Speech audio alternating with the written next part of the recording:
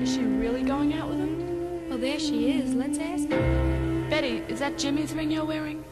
Mm-hmm. Gee, it must be great riding with him. Is he picking you up after school today?